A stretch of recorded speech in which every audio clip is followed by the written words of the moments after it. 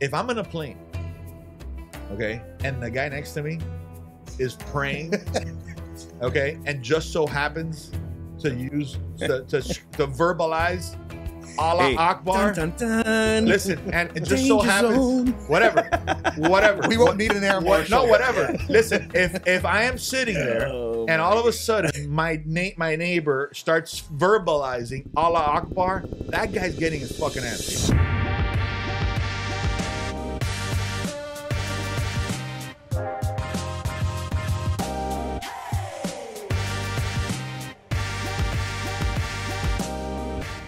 Episode 37. What's up, guys? Haven't it's been uh fuck, it's been about a month. Yeah, a little bit. Yeah, so today we have an interviewer. we- We're interviewing somebody. He's he's he's missing right now. He's uh, finishing up a meeting in our conference room, so he'll he'll he'll walk in when we uh, when he gets done. But um, we'll get the party started. Um, what what has changed since last time we spoke? Interest rates down, Interest rates Quite a bit. Yeah. Well, they, which new nobody nobody um, nobody was predicting. I mean, you know what I've also realized in this whole shit? Let me tell you something that I've absolutely I I am know where you're positive of. Nobody knows shit. Nobody knows shit. Let me tell you what happens. Let me tell you what happens every time. Everybody makes predictions, Mhm. right? They stick it. They throw it on the wall, right? Mhm. Then somebody's gonna be right, yeah. right? Somebody's gonna be right. So when that happens, the guy who actually predicted it, he's the one that's right. That Yeah. but it doesn't genius. mean that he knows shit. It just means that that's just the way it landed. Like everybody was predicting rates were going to go down next year. Everybody, all the fucking experts that are shut up right now. Mhm. I'm not going to name them all, but I mean, like guys that know. Supposedly next year, you know, second quarter, third quarter, rates are going to go down. Rates are already going down, Mhm. right? Nobody knows shit. Well, but what the the thing is that when you say rates are going down, like the Fed hasn't reduced rates. Right. So what happens is that that as usual, the information that that people get is incomplete. It, it doesn't even matter if it's accurate Yeah, they're, or but they're definitely not raising. It's a, well, they haven't raised rates. There's a Right. meeting coming up now, in first couple Right. weeks of December, and it is widely expected that the Fed will not raise the prime Correct. rate again. But what happens is that what, what nobody understands is how it actually works. How the cake. So so that's uh, why when you say The cake is made. yeah. that's why the, the, we sausage. we sit here and we're like, yeah, rates have gone down. You know, like mortgage that's all I care about in my Right. world. I get it, but, but, but I get it, but nobody understands what that means. People are listening to us and like, what the fuck are you guys talking about? The, the Fed hasn't reduced rates, and it's like, no, man. But what the Fed does is just one piece of this much larger Sure. machinery that is what results in the rate that you're quoted when you go buy a house. So what Jesus is saying, and he's correct, is that two months ago, let's say, if you went to buy a house, the rate you were being quoted is higher. People are getting stuff in the sixes right now. right is higher than the rate you're going to be quoted if you try to buy a house with financing today.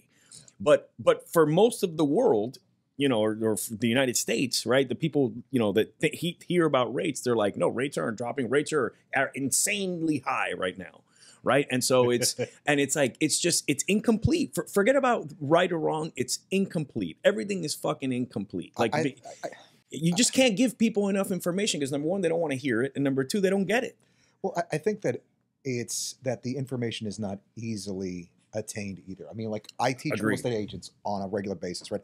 It's not that they don't want to know; it's that nobody even tells them because they just assume that they can't figure it out.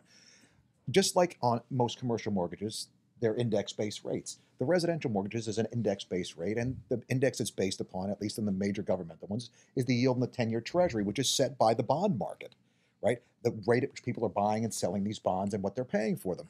So when the anticipate anticipation of rent uh, of rate increases changes, people change what their decisions are as far as investing in these bonds go. The anticipation is that the Fed is maybe done raising rates, so the outlook for these rates continue to go up has changed, and people now are making different investment decisions in the bond market, and this is allowing the rate on the 10-year Treasury bond to come down, which is resulting in our our mortgage interest rates being at a lower number. It's, it's not it's not that crazy complex, but here's the thing: if the Fed does raise rates at the next meeting, watch them go higher. Watch the rates go higher than they were. Well, it's all connected. It's all connected, and uh, and yeah, and the gentlemen's uh, the, the, the the the guys that I was talking about that were quoting stuff. We're just talking about like our market, right? Our, Sure. our market, and and uh, you know, and again, you know, it, it's weird. It, I always have in my mind whenever I talk about something, I always got to like almost exclude Miami from it, right? Because let me tell you, man, I, I'm, I have people from other parts of the country, and and uh, we're we're in a nice little bubble here.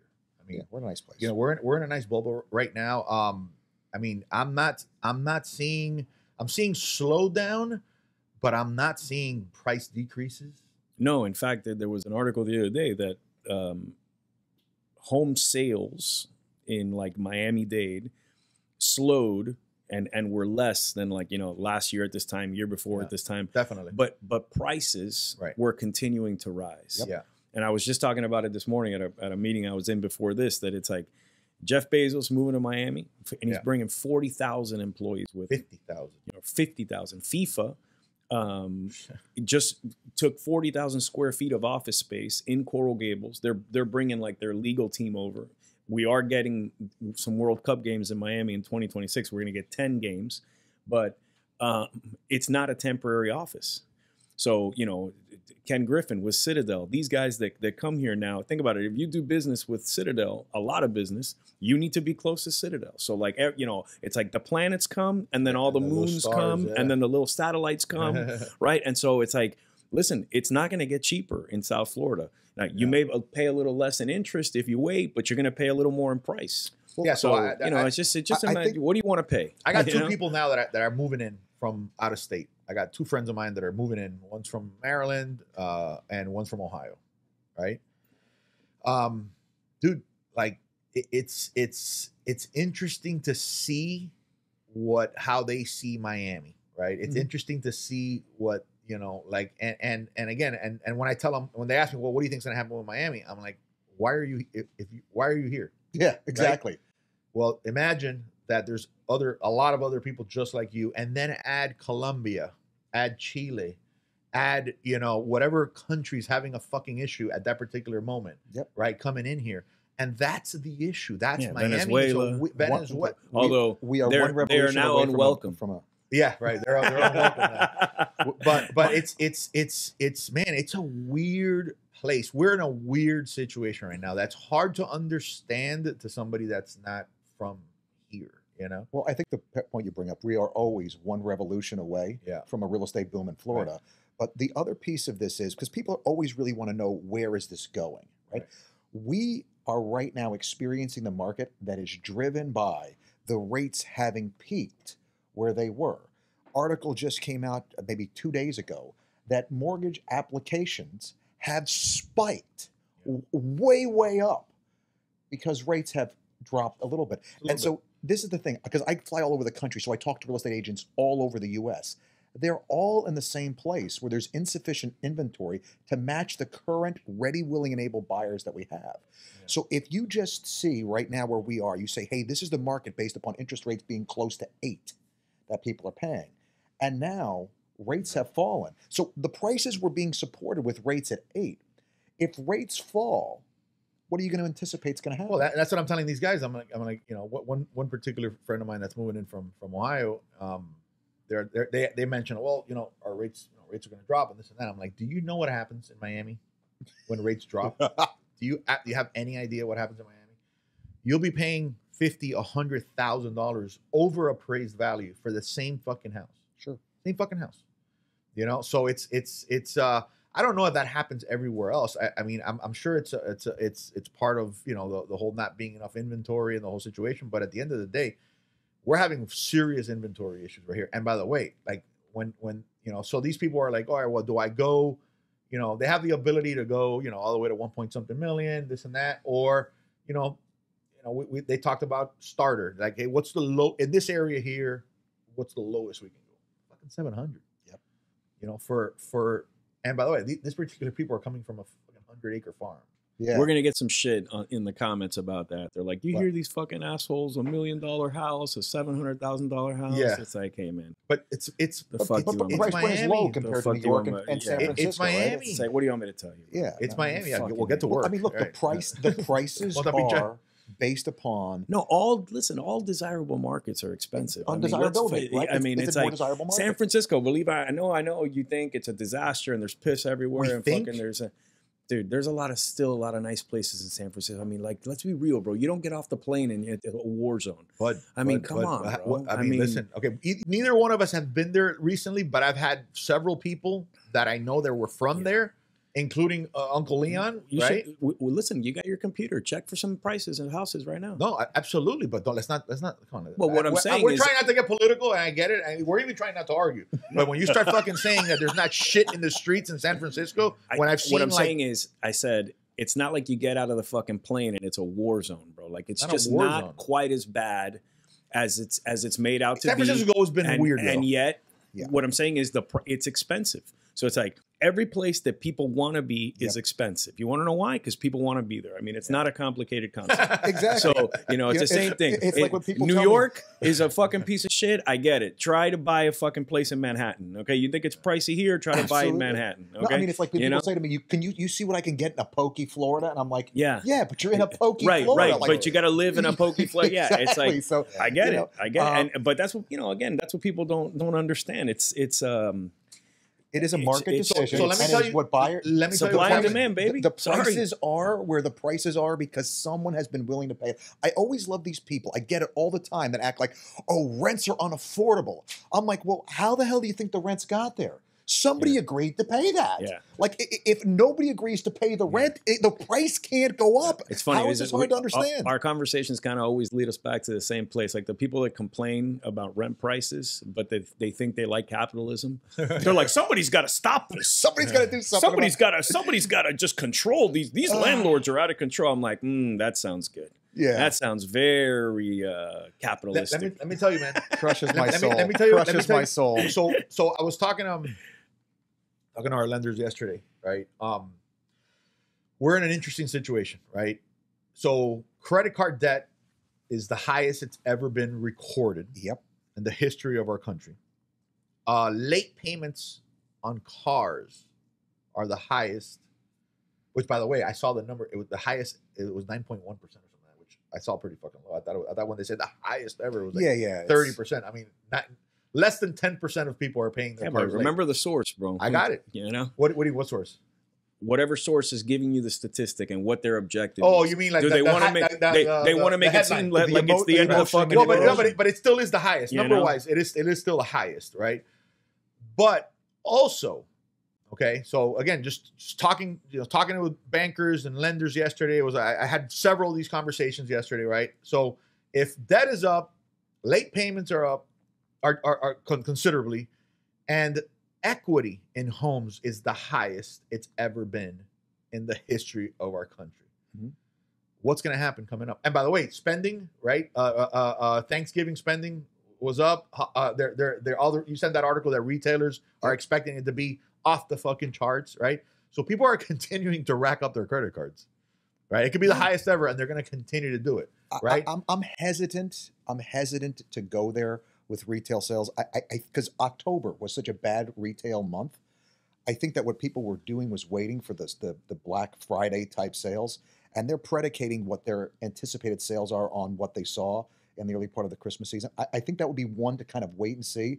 Uh, you know, look, I'm not normally a big wait and see guy, but but on this, because of all the reasons that you're saying, it, it seems like there's got to be fallout.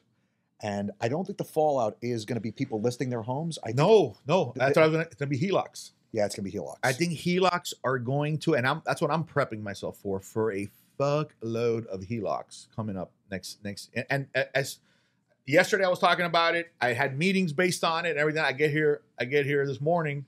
Can we translate that for for like Home, home equity lines of credits. Yeah. Yeah. So let me get this point across. So I get here today, and and I, I, I you know eight thirty in the morning, whatever. I, I I go to Janelle's desk, and and she's like, uh, she's like, oh look, this so so and so is is agent of ours is, is getting a HELOC and, and, and buying an investment property Mhm. with with the with their equity. Like first conversation I had, right? So, um, so yeah, HELOCs are you know it's basically a second mortgage that's like a credit card. I mean that's the best way, the simplest way I could explain. a it. first or second mortgage, depending on. Well, yeah, but in this market, it's going to be second mortgage.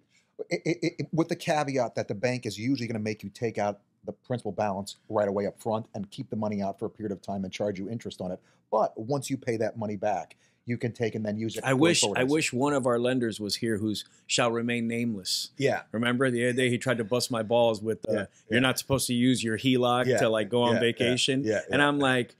He's like, well, you can put on the application that you're going to use it for vacation. I'm like, yeah. How many HELOC applications have you submitted with that as the fucking use of funds, bro? Well, God bless, man. So God, so but the reason why I'm calling it a second mortgage, right, is because in this market. So again, so well, it operates add- as a second mortgage. It is, but no, no. But let's add another factor to this, right? You don't have to be a fucking brain surgeon or, or a genius to figure out what's going to happen this coming year, right? People are not going to want to refi out of their three percent, two and a half percent. You know, Mhm. they're not going to want to. So what's going to happen now is that this is going to give us. People are going to start getting these HELOCs. It's going to give us a little bit of breathing room, you know, and and people are going to continue to do what they fucking do, which is continue to rack up you know their credit cards they're gonna they're gonna max out that that that line of credit real quick okay the next shoe to drop i think it's gonna be when i don't know what what's you know these helocs gonna buy us time wise probably a year mm-hmm. and then they're gonna have to sell no matter then they're gonna have to either refi or sell right No, probably probably sell. there will be a bunch of foreclosures. People don't fucking understand. I mean, it's like first of all, there's no foresight. Okay, like very few people look ahead. Okay, and and the truth man and and and listening, you can't blame them because they're living fucking check to check. Yeah. So you know that's not you're just trying to figure out, bro, how to go from here to there. You know, it's like so nobody's thinking about the next shoe and this and that. It's just, and I agree with your initial point. Um, first of all, I'm Just not. the I'm- initial one? No, no, no, no, no. around, specifically though about the predictions and people make predictions and nobody really knows what the fuck they're talking about anymore. So I've been saying for a couple years now that with things like um, macroeconomics, like these big outlooks, Sure. okay, and it's the same in politics, okay, and political polling and things like that. It's like the old, tried and true data points are just less and less reliable because of how fast the world is changing. Sure. So it's like you just can't sit there and it's like, no, the inverted yield curve. Remember, like two years ago, somebody was like, the yield curve is inverted. The you know, the end of the, The world, world is, is near. And it's like, first of all, no one has any fucking clue what the the inverted, inverted yield. yield Okay, so you're saying that, and it's like most they look at the chart like- they look at the chart. most chart people are like, "What the fuck is this guy talking about, bro?" I don't even. They, they go out the same day. They buy their fucking chicken. But I'm very worried. But I'm Right. very worried about it. I don't know what Right. he's saying. Because so the headline sorry. tells me no, because the Right. headline tells me to be they worried. don't get it. And then if you notice, the yield curve was inverted, and nothing happened. The economy got stronger for like then, and that was during Trump. Mm-hmm. Okay, Yeah. the economy got stronger like 16 times over. Mm-hmm. So it's like they just. w- What happens is that that there was a time when change in all in all aspects of life was far slower. Sure. So the established knowledge, okay, like the science, if you will, was better for longer. Mhm. Okay, better for longer. So it's like, and and what happens is that you can you see this frustration with people and with talking heads on every single point. So it's like now, if you're a scientist or an expert, you're not allowed to be wrong, like even for a second. Like revising your position is evidence that you have no fucking Yeah, idea what you're talking clueless, about. yeah. It's not about science. It's like think about it. They used to operate on people, and the surgeon didn't wash their hands, Yeah. and fucking people died in fucking droves. Were all those surgeons morons because they didn't know that? The, like now you're thinking, bro. They tell you there's a sign everywhere you go. Wash your hands. Wash your hands. Wash your hands. So And you so, gloves. So right. So it's like. It, you know, back in the day, how many people died because the fucking surgeon didn't wash his hands? The surgery was a success, except for the infection that the guy fucking put in the body. He just wiped Right? his ass. uh, right. So you 30 know- seconds ago with no toilet paper, right, by but, the way, but because what- there was no but- toilet paper. Right, but what's incredible is that at that time, like nobody was ever like, oh, these fucking doctors don't know what the fuck they're doing. They didn't, you know, now they wash their hands. It's like you see that they were idiots. So it's the same with every single thing now. So so I'm not a fan of the alienation of expertise, which is what we're seeing. Okay, like like nobody likes experts anymore. You're elite and you're a fucking asshole and you went to school. It's like that meme I send you guys all the time where it's like the the inside of a plane. It's a little photo of like the, the fuselage of the airplane and like there's uh, everyone sitting there. And this guy stands up and he's like, I'm tired of these smug pilots telling me what to do. Who thinks I should fly the plane? And everyone's like, Yeah, you should fly the plane. And it's like, dude, you know, so so there there has to be a balance. But I but I agree with what you're saying and about the predictions because the problem is that these the experts rely Well, on the 2008 crash, you go back and oh, this guy predicted that this was going to happen, brothers. You know what I mean? Like, Uh, well, again, it's it's No, I- and it's the- everybody was playing mm. around. You know, I think there's two pieces to this, right? Because I, I agree with what you're saying, and and that's kind of the pushback. I think the arrogance level of the experts has moved up to eleven, which makes this na- like when you're wrong, it's like you see, I hate that guy. He's wrong. yeah. And so, you know, and, and I think you in, in, in our society, everybody is putting themselves forward as an expert. So to stand out, you have to be uber confident Yeah. that what you're saying is, you know, f- handed down from on high on, you know, Yeah. on stone tablets. This is how it is. No, and not just that, but the also the the exagger like the people's exaggerated notion of their own cleverness Oh yeah. is also at an all time high. Like everyone's a fucking researcher now. Mm. I love that. Like we got a guy we deal with him every fucking day. He's like, no, I did my research on this. It's like, oh my god, this guy did his fucking research. research. You Can you Google, imagine, bro? you Like, Google. I went to school for three fucking years, bro, to learn the law, but like you're gonna research it. You know what I mean? I was it's on like, Legal Zoom for a good like- solid 15 minutes checking this A, out. man. right? You know what I mean? So it's like again, again, but listen, lawyers get it wrong all the time. Doctors get No, it wrong all the lawyers get it time. all Um, no, they do. But ask, remember the shitty NAR lawyers, according to you. Um, Yeah. so Well, you know. I mean, it's like, look, it's it's um, it's tough. It's a, it's a balance, but as a as a general premise, things change so fast now that it's very difficult to ha- to make solid predictions or to use like the the the you know tried and true metrics to make predictions. You you have to you have to if you're not adding in new variables, you're going to be wrong more often than not. And, Okay, and I but- and especially in, a, in an environment where we're in right now, where you have a globe a global recovery, economic recovery from a pandemic that's going on, an economy that, that has has largely switched from a na- a national economy to a global economy. You know, a butterfly farts in Taiwan, And, and it affects everything. it affects everything now, and you have this this ripple effect. yeah. I mean, you know, you have a Chinese real estate Yeah. market that's absolutely collapsing. Yeah. What and is you, that? you got people fucking tweeting America first on their Chinese made phone. It's fucking amazing, man. It's again, it's it's a it's a it's a weird time. You know, I know we don't we don't like to get into the politics a lot, but it's uh Um, you know, I, I kind of feel like getting into politics a little bit.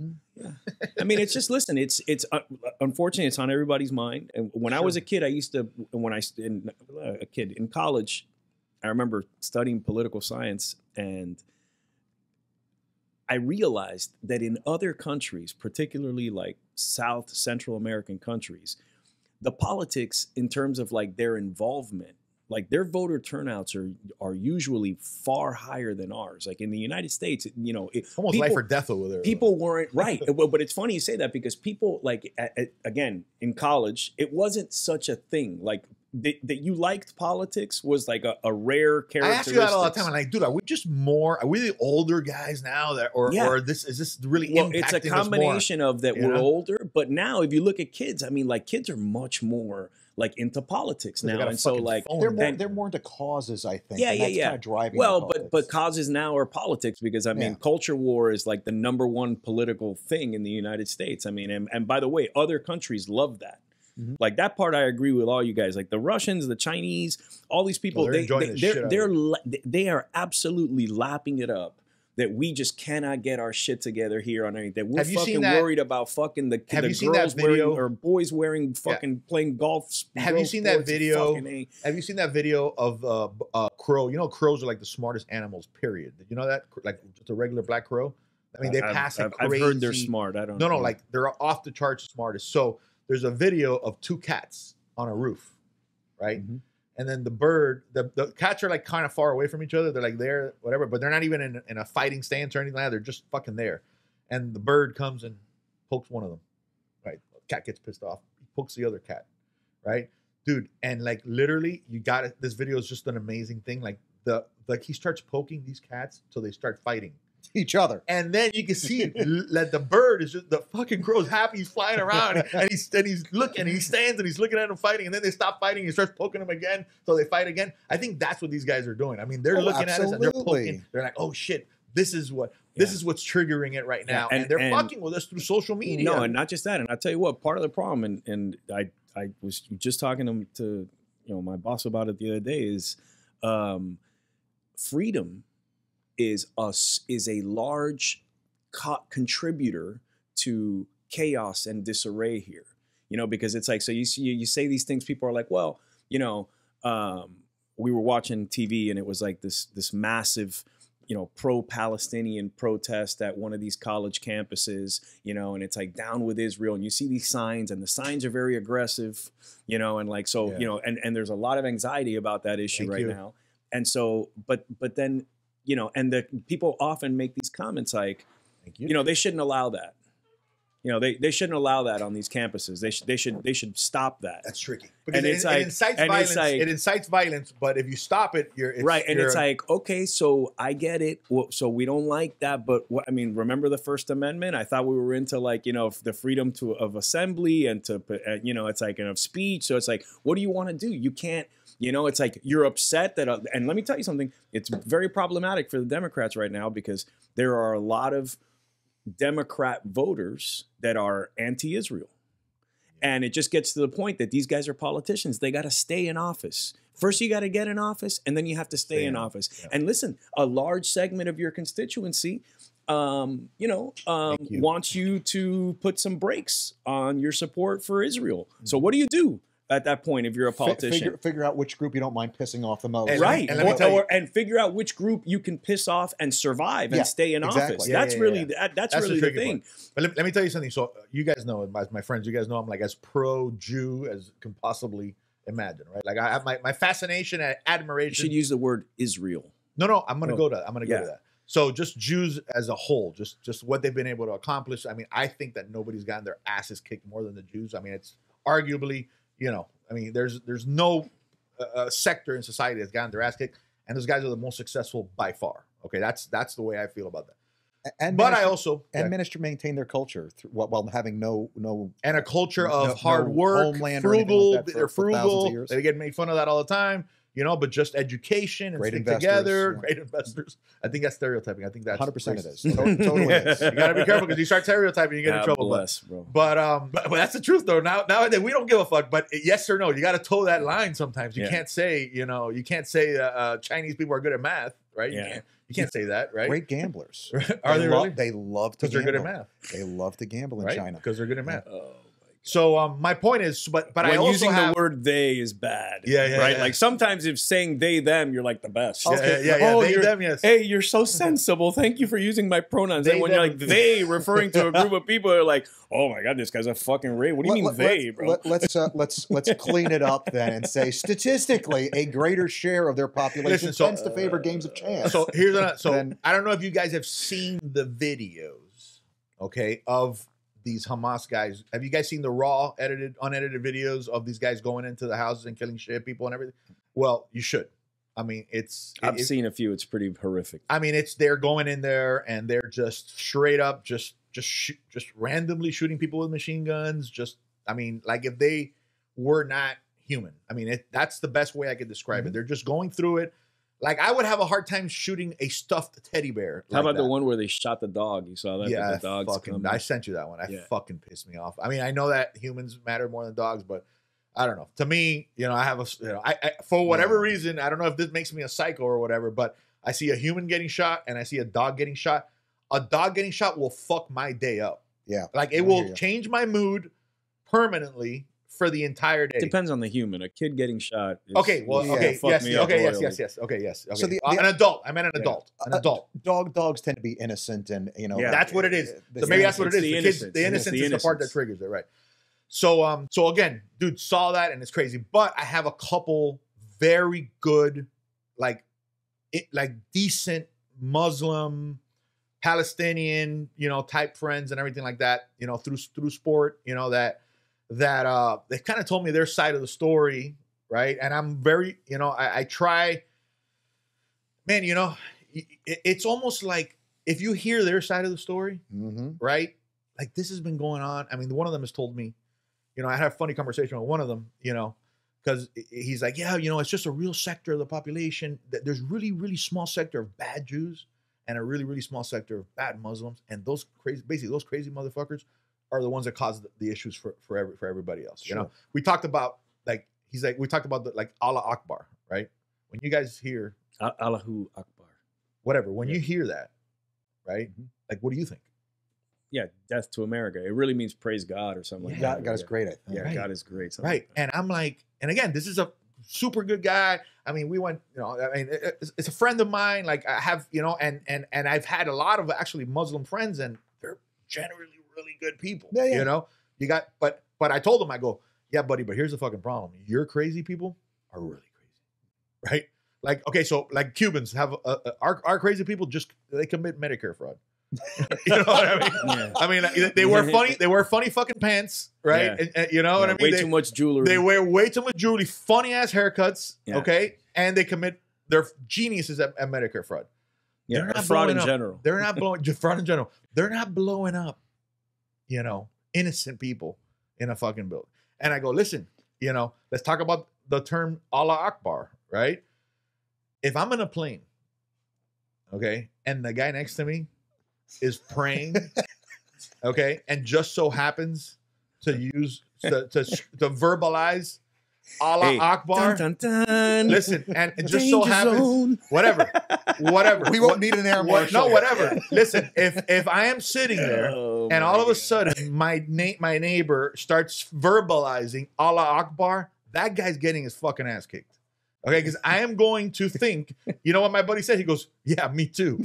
You know, He's like, because yeah, because what are you used to seeing? You're used to seeing somebody getting their head chopped off. Allah Akbar. Uh, Yeah. Things blowing up. Uh, you know what I mean? So it's like Yeah. one of those things that like so back to the Israel and Palestine thing, dude. That shit's been going on so long. No, Yeah. listen, I'll tell you what, great movie. so great long. movie. Kingdom of Heaven. hmm Yeah, Great movie, man. Ed Norton is, you know, the the king of Jerusalem at the he plays the king of Jerusalem at the time during this period right after one of the crusades where um, Jerusalem was actually open to everyone, to all faiths. And um, you know, obviously there was a there there was some battles because there a new king came that he was actually a leper king. Okay, so the guy had leprosy and Oh, he shit. had like a mask and um, he died young and the next king wasn't so friendly. You know, this the, the you know Christianity was in charge at that time, and um, he wasn't so friendly to everybody else. And then there was a major war, and the city was lost again, and that prompted yet another crusade. And and so you know this goes back thousands of years. It's true, but but what what this whole point reminds me of, and if you guys might have seen it recently, you saw how like three weeks ago or something like that. I forget what the name of the publication was, but it's a, a well-known publication, and they they published again Osama bin Laden's letter to America.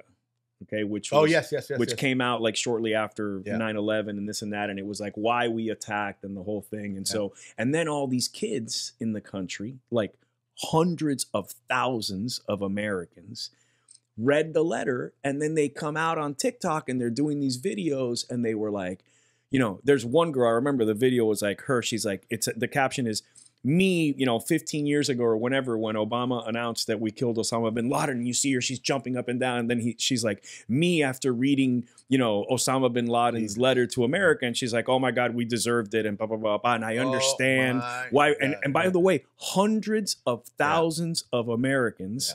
Had this sentiment to the point that the publication took the letter down, and then you couldn't find it anymore, and the whole thing. And and here's what happens, okay? If you sit here as an American and you suggest that America has never done anything Shit. bad no to the rest of the world, No. We're you, motherfuckers. You are a We're fucking liar. We're Okay, motherfuckers. now if you have the balls to be here in America, enjoying what America Yeah. has provided for. Americans, Right. Then listen, it's really hard to fucking criticize. Like again, like you know, you're in your SUV while you bitch about fucking global warming. I mean, these things just don't make sense. And there's a movie that that that conceptualizes this concept, encapsulated in one sentence, and it's "A Few Good Men" with Tom Cruise Yep, and yep, yep. and um, um, fuck, what's his name now? The general, Colonel Jessup Oh, and um, Jack um, Nicholson. Jack Nicholson. And um, when Jack Nicholson is on the stand, you know, he they finally they, get they start him to- pissing him off. yeah, and they get him to he, he they get him to say something he's not supposed to say. And Yeah. I remember that he looks around the courtroom and he says, "You fucking people, yeah. you, don't even have know no idea, what it takes to defend a nation." Yeah. Okay, and get and and that. as a kid, I remember I watched that movie. I was like 13 or 14 years old when it came out. I saw it in the movie theater. I'll never forget. I was with my parents and we went to Mall of the Americas. Okay, Your dad took and I saw it, yes, bro. And I saw that movie, and I always wanted to be a lawyer. After seeing that movie, I was certain that's what I was going to be. Okay, and um, I remember that that line, and I've never, ever forgotten it because it's like, you know what? For us to live the way we live, have no we have to fucking kick ass and take names all over the world. We have to fucking trample on people all over the world. We have to do the things we do. And it's like, listen, well, we're not what dealing the fuck with do you want me to tell you? And by the way, if we stop, someone else is going to start doing But we're not dealing with normal people either. We're dealing with crazy No, people. no, no, we gotta out crazy the crazy Yeah, yeah, to and- keep what we have. Yeah, and, and it's like, and it's like people fucking they don't understand. It's like Yeah. you you hear these these kids It's- now, and they're like, no, because the U.S. and this and that. It's like, listen, let me explain something to you, okay? If you show up to one of these countries that you think we oppress, Oh. and you show up with your bullshit, you are the first one on the fucking. Well, how about the chopping the, block, the, the LBGQ uh, whatever? Yeah, that- um, that are at, at a pro- Palestine. yeah, yeah, that are yeah. Bro, you would be thrown Stoned, from bro. a building. You know what they do to gay people in those? They Look. they blindfold you because they think it's funny to blindfold you before they throw you off a building. Why do you need to? Why do you need to add the blindfold? Yeah, well, so they just to be an extra so they- dick. I mean, go- there's no other no, reason, right? right? So, so that you go from like the the, the G-force Right, butterflies to right, sudden impact, without bro, knowing without when it's knowing coming. when I mean, it's coming. Only, you know, Listen, it's fucking crazy. I'm I- telling you. I'm, going to toss this one because you kind of alluded to it, but I, I really think it's it's important. One, by, by the way, I saw that movie with my father as well. Colonel Jessup was his favorite character, and he hated Yeah, he's the man. Cruise. He's the freaking man. the you know, like, man. that, that that that Jessup was this evil guy. My father went to military school. The bag of oranges in the middle of the night that happens. right? Yeah. you, you, don't screw up because then everybody they, they take care of it amongst Right, themselves. That's the right. thing. But this is the, this is the question. My, my brother always said that a lot of the the ivory tower thinking is good first order thinking. We should redistribute all the wealth. Okay, what happens the day after that? Mhm. Nobody has a reason to go to work. Everything stops. Nobody owns anything. You know, like it all comes toppling down, but it sounds great on paper. Okay, so the US is not the one. Who else do you trust to take and, and be like I mean, I would say looking globally at what we've done as a country, I don't think anybody else after World War II gives everything back. I mean, uh, God knows the Nazis It's like, wouldn't have. it's like, by the way, I was joking about the whole thing, picking, you know, same thing, the conversation with the the the, the protest and the this and that. We were driving back from Boca, and uh, and we're talking about you know Gaza, and and we're like, yeah, you know, and and he, somebody was asking in the car, that, what is it? What's meant by this concept of the open air prison? Like when you hear that Israel keeps all these people in an open air prison, what's that mean? And, and I was like, well, what it means is that it's a very small little fucking area that's that's complete fucking trash. It's like the poorest, I think it's like the poorest place per capita in the world many times over. Imagine it's five by it's five miles wide by like 20 miles long, and there's two million people in there. Mm. Okay. And so it's and and they control the water coming in, they control the power, they control the food, the food, the you know, the food, the fuel, everything. And so and you can't leave. So that's what's meant by this this open air prison. And then, you know, and then this other guy in the car who's a very smart and he's a cynic and he's like, well, we should probably start looking at real estate there because we're about to spend billions of dollars to rebuild it. So it's going to be fucking great now. You know, it's like Yeah. now it's going to be high rises and fucking because that's what the United States does.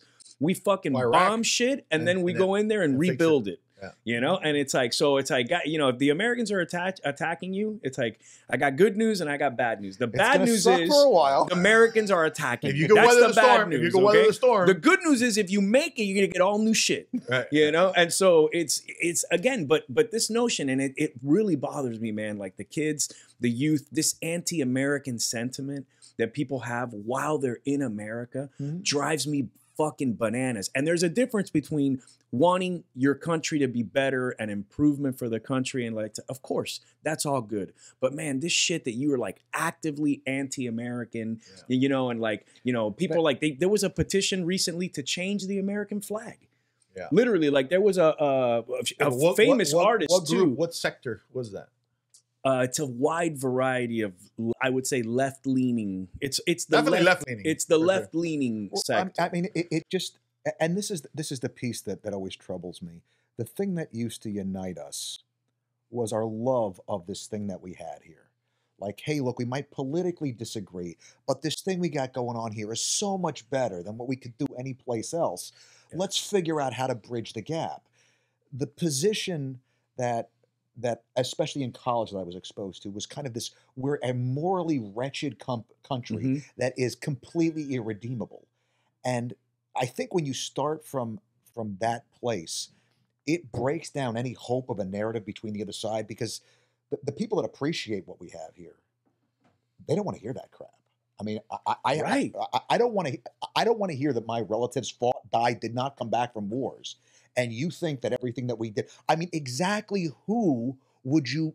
Which pick the country that's the moral Yeah. superior? No, no, and not just that, but how about it's like also the the obvious things that people don't ever take note of, which is it's like you're here and you complain about how it is in the United States, and yet I don't see and and maybe it's our media, okay? Maybe it's the media, the control, and we only they only show us what they want, all this bullshit that you hear. But it's like, are there any other countries with like millions of people trying to like cross the border constantly? Yeah. wh- wh- Like, are there? Fu- I well, mean, that's what I I'm tell your sorry. boy. Oh, wait, that's I mean, what I tell your lefty boy. I'm like, hey, why, it's why like- is it so good? It's like if I just don't understand why are people fucking dying, risking their Literally. lives, bro? Hey, alligator infested waters, paying these people called coyotes that rape them and Yeah. f- beat their ass on the way here. Why Yeah. are they doing that? Yeah. To get, is there any other country that has the fucking waiting list and the and the fence jumping that we do? I mean, my- I don't my bro- get it. My brother put it perfectly. He said to me one time, my, my explanation to people that want to talk about socialism,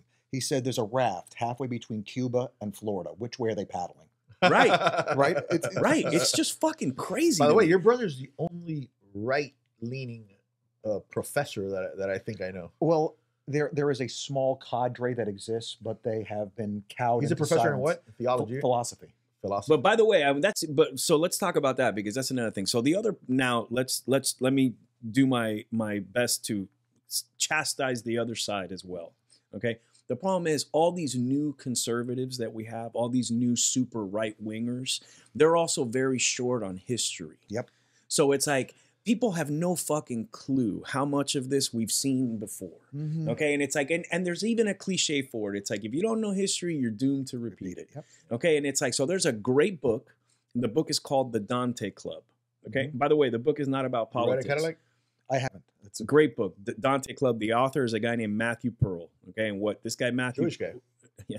what this guy. Matthew Pearl does is he'll take historical events that are somehow unresolved, okay, and then he'll he'll write a book that's based largely on the historical events, and then he'll weave in his fiction, like he'll he'll tie off the story. also like and- Robert Graves with like so- Claudius. Yeah, yeah, yeah. okay, cool. So very cool writing style, Love and it. this book is called The Dante Club, and it's by the way, the book is not at all political, but there's this undertone in the book that's fascinating, which is that what what happens in the Dante Club is that in real life, in history, uh, Dante's Inferno, the book, was was written in Italian.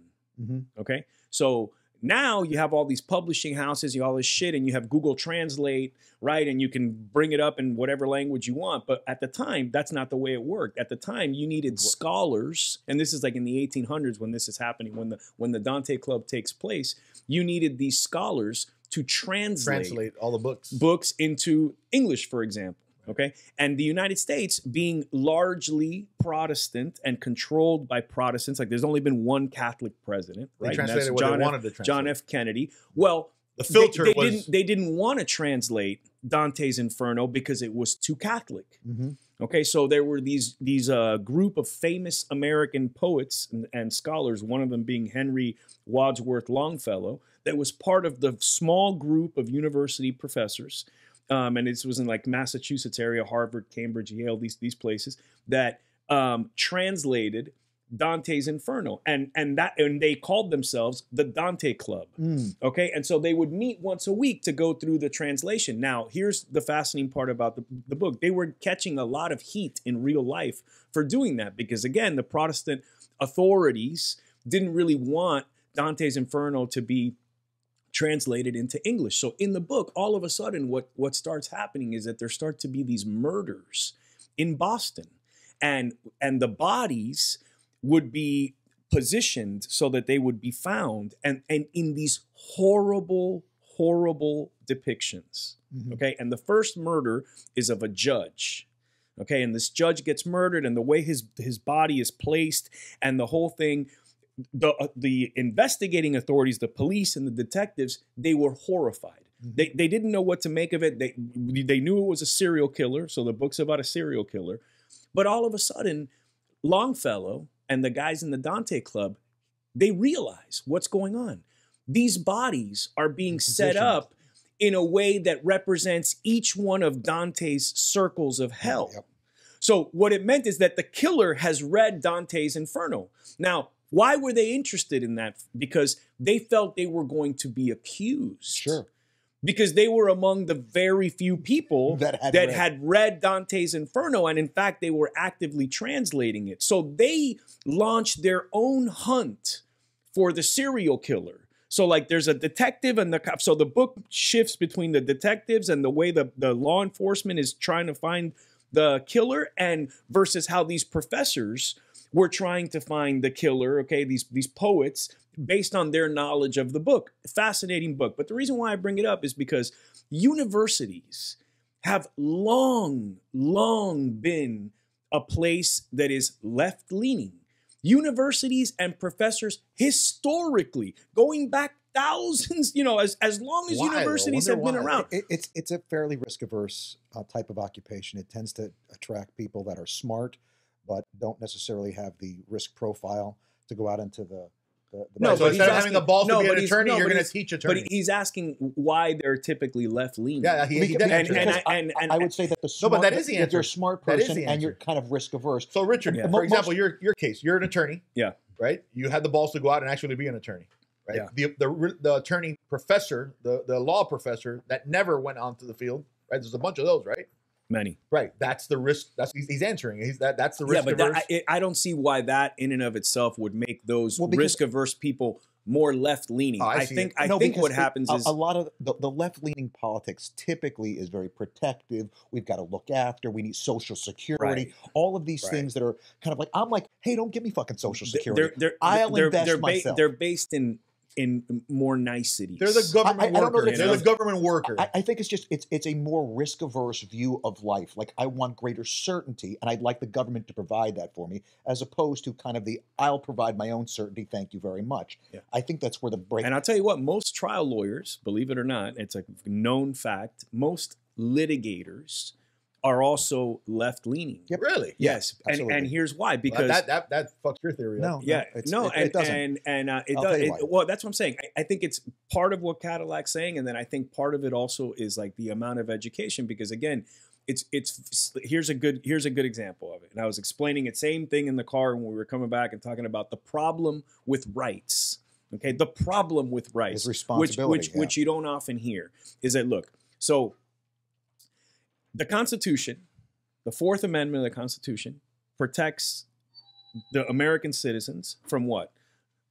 Unlawful searches and seizure and like, you know, torture and things of that nature. Okay. What does that mean? Okay. If you're driving down the road and you have 10 pounds of cocaine in your trunk and you get pulled over, Cocaine is usually measured in kilos. In kilos. Yeah, thank you. So, Jesus' knowledge of cocaine is superior to mine. So you got you got 10 kilos of cocaine in the trunk. Officer pulls you over. If the cop has, and by the way, then there's a bunch of rules in criminal procedure and in criminal law. It's called a Terry stop, is the case. It was the case called Terry, and there's a Terry stop, and there's all this criteria that the officer has to go through to first detect a problem, ask certain questions, etc., to then be able to lawfully perform perform a search of the vehicle. Mhm. Okay, and what do I mean by lawfully? I mean he's can't just decide get out of the fucking car. I I'm searching look. just Yeah. because he's looking at you. Yeah, yeah. Okay, so the profiling concept that we often talk about, you can't do that. Okay, so so you you can't just look at the guy and say, "Oh, I This guy think you're, I think you- you're probably a you'll have drug dealer, so I'm going to search you." Okay, and what happens is that if you if you violate these these rules, okay, such that you then performed an unreasonable search and seizure, eh, when you find the 10 kilos of cocaine, okay, the guy gets arrested. What's the famous uh, police officer phrase? You can beat the rap, but you can't beat the ride. Mhm. Okay, so you're getting arrested. When your criminal defense lawyer gets hired and you take that case, he's going to file a motion to suppress the presentation of the evidence of, the, seizure. cocaine. Yeah. And guess what? He's going to win that motion to suppress. In our example, we've assumed that the search was unlawful. Yeah. And this concept that you don't get to present, the, that, that the prosecution is now barred from coming into court and saying, hey, we're charging this guy with possession of cocaine, and here's the cocaine we found on him. Mm-hmm. Okay? Your inability to present that, that doctrine is called Even if there is cocaine. Hundred percent. In, fact, especially, If and here's my yeah. point: it's especially because there's cocaine. This concept, this doctrine, is called fruit of the poisonous poisonous tree. Okay, just like the religious thing, or you know, you ate the fucking apple. Okay, and so, but here's what people don't understand: people that don't go to law school, they're upset with this shit. Okay, they hear that and they're like, criminals get off on technicalities you know because it's like they, they want they people don't understand until you go through the training in school you're like but they found the cocaine like Yeah. what the fuck do you mean we don't get to prosecute like the guy like this does That he even get have it. So if I had it, I'm right. right like does he get the cocaine back and it's like no he doesn't get the cocaine back but So there is but, that. But right, but but he's not going to jail for possession of cocaine because guess what? The prosecution is presented from presenting the cocaine. Now, now why does this matter? Now, again, let's go back to the average, the layman citizen who's upset that criminals get off on these technicalities. And here's what I tell people all the time. Justice Scalia, Antonin Scalia, one of the most conservative justices ever, Yep. okay? He's got a very famous opinion out there where where he says something to the extent of it is only by preserving the rights of these people that commit these crimes that law-abiding citizens' rights are protected. are protected because here's what happens.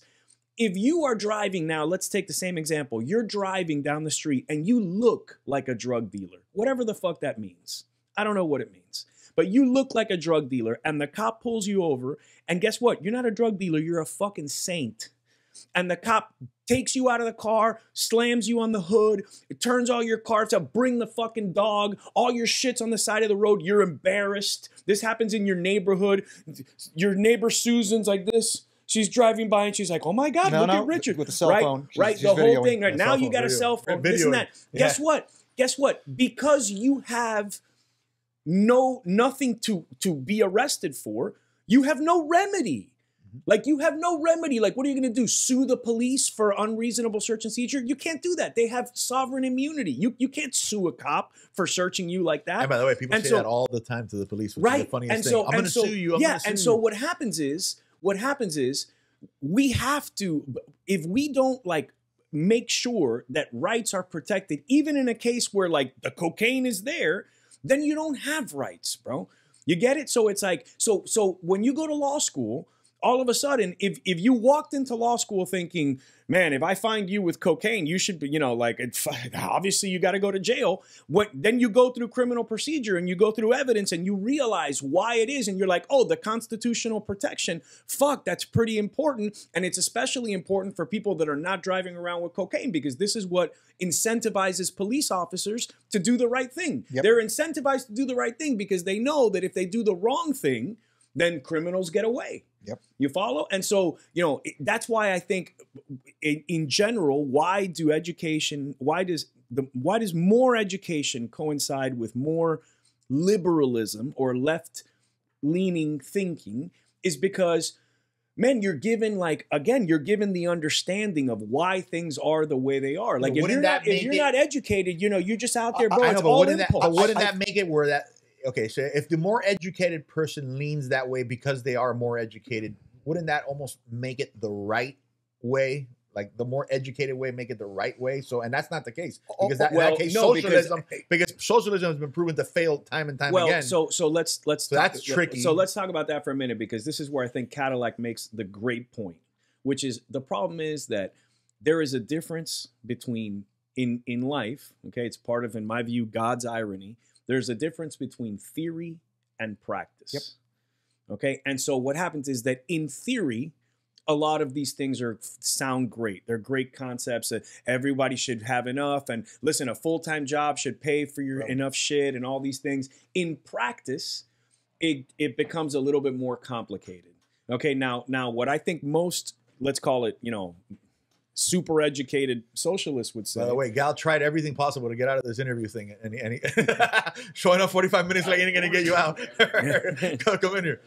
We're, we're, we're, we're, we we started already, but uh, how you doing, Rich Barber? Good to meet you, Josh. the, the, the other white guy in Miami.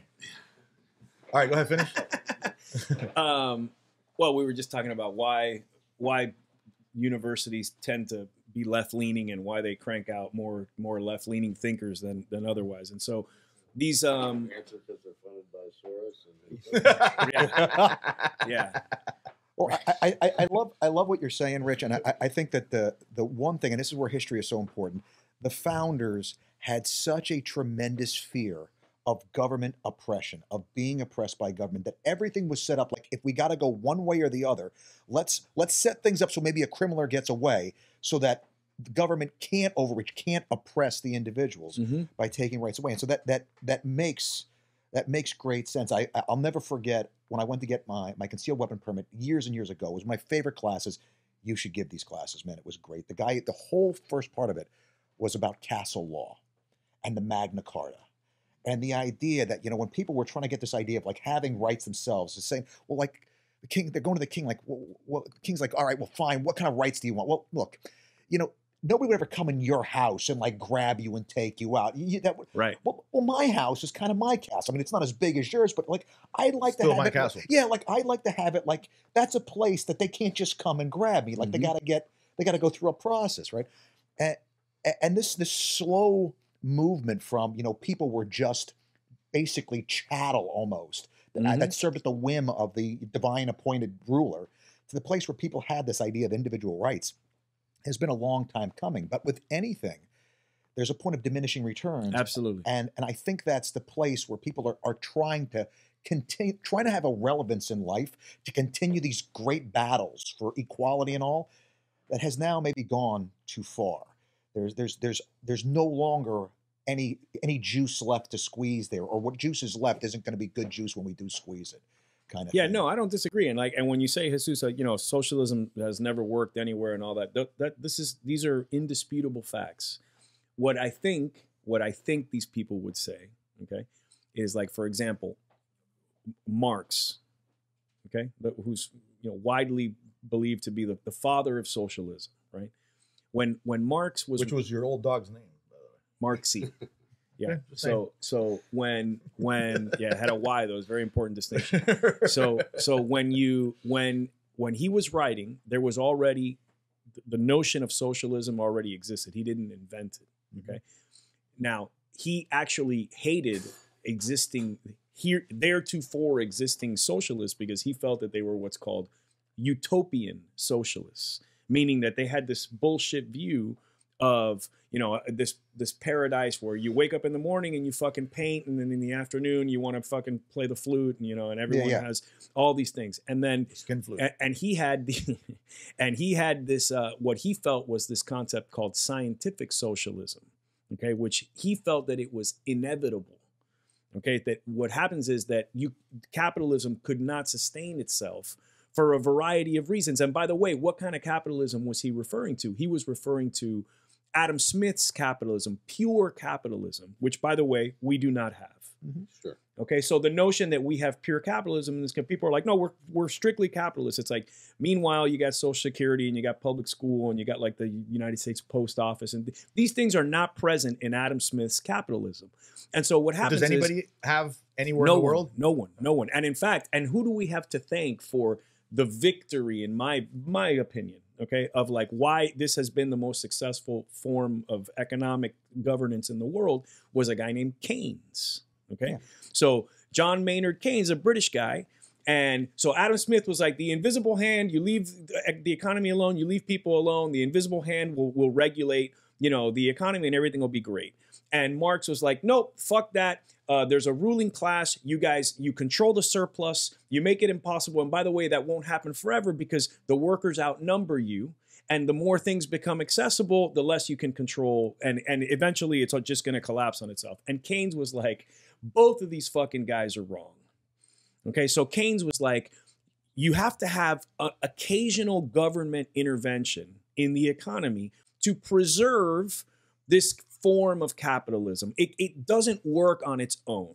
So it's more efficient, Keynes would have said, for the government to do things like handle the road building, okay, and the road repairing, even if they sub it out, and they and we, they have to have like public schools, and we have to have these things, and so it's like we have these elements that are contrary to capitalism in capitalism and, and and by the way the term for that was neo-capitalism okay so that's what we have. It's a, version of capitalism that has some of these ingredients in there. So just to answer your question you know marx would, would tell you no communist country is actually communist because they don't have advanced capitalism. Marx believed that you have to have advanced capitalism to, to be able to achieve communism. And that's why the Russians threw an entire generation of people at industrializing. Like, you know, you don't people don't realize what Stalin did. He was fucking horrible. You talk about fucking a terrible guy, bro. That guy threw like a hundred million Russians at turning Russia from an agricultural country to an industrial country in five years. Mhm. He industrialized the country in five by throwing an entire generation at, of Russians at it away Yeah, he threw them away. right? Because he believed this concept that Marx and Lenin were were were, were promoting that you have to have advanced cap. You can't achieve communism without advanced capitalism. So and and listen, I don't know if it's true or not, but I'll tell you what. Like think about it, cell phone. Mm-hmm. Okay, when when they first came out, we all first started walking around with cell phones. What was the price of the fucking cell phone? Remember, and making the calls and this and that. Now they give The you brick. the fucking phone Right. right. and that and that's the concept that he's saying that the technology just becomes so it proliferates to the point that like you have to find something else to make money on I, I think, I, I- and and and the, the, the, big problem for me always because I'm not a. Big by the way do you want to introduce Gowl man I Yeah, I yeah, feel well, I fucking mean, we- weird we- I wanted to finish the conversation. yeah All right, so let's introduce everybody. We got kind of not start the whole podcast, but we got to kind of like a little reset. So I want to introduce you to, to, to, to everybody here. Richard, uh, friend of mine for too long, what almost twenty years now. Yeah. Um, yeah i know it's, it's been a rough ride so he knows you well so he's uh, he's uh, an attorney, a real estate attorney, because I I, I basically uh, uh, almost forced him to be a real estate attorney. He was a regular ambulance chaser before, right? Um, he is now technically. Uh, Richard, would you consider yourself the most powerful real estate attorney in Florida? Right no man absolutely I mean, listen, listen, man, No, just man. paint the target Listen, on no your back. bro listen. no fuck There- you there's an no. argument for that. There's there's an argument. No, for that. that's There- there's a- there's an argument ridiculous, that. bro. Don't be humble now. No, no, no. No, no, Just no, 'cause no, no. If we were outside, he would be like, "Fuck yeah!" I'm I- I humble." know, man.